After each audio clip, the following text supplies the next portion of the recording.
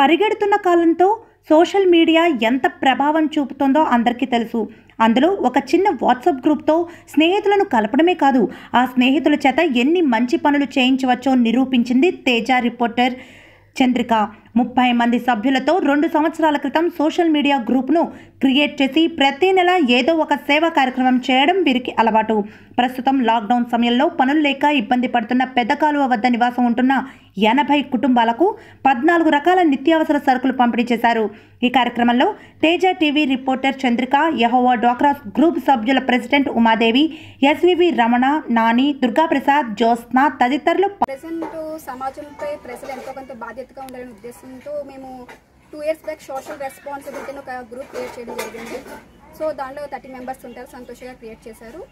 So present సిచ్యువేషన్లో lockdown కారణంగా నిరుపేదలు ఇబ్బంది పడుతున్నారు కాబట్టి వాళ్ళకి ఎంతో కొంత ఆర్థికంగా హెల్ప్ చేద్దామని చెప్పేసి నిత్యావసర వస్తువులు కొనడం జరిగింది. ఎనభై కుటుంబాలకు నిరుపేదలకు ఇక్కడ సోషల్ రెస్పాన్సిబిలిటీ తరఫున పంచడం జరుగుతుంది.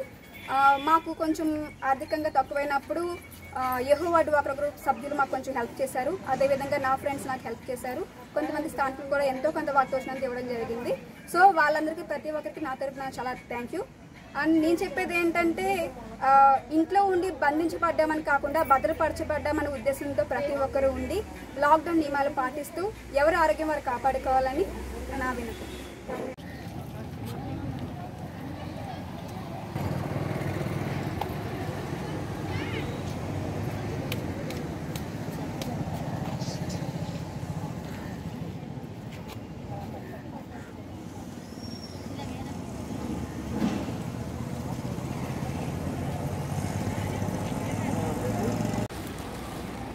అలా పట్టుకుంటాం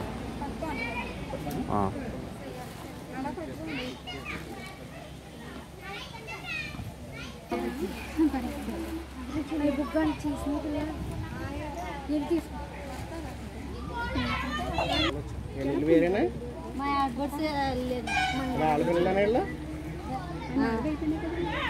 నాలుగు ఇంకో పేరు. ఏంటట మాస్క్ కట్టుకోవడం జాగ్రత్త జాగ్రత్త అలాగే అవసరం లేదని పర్లేదు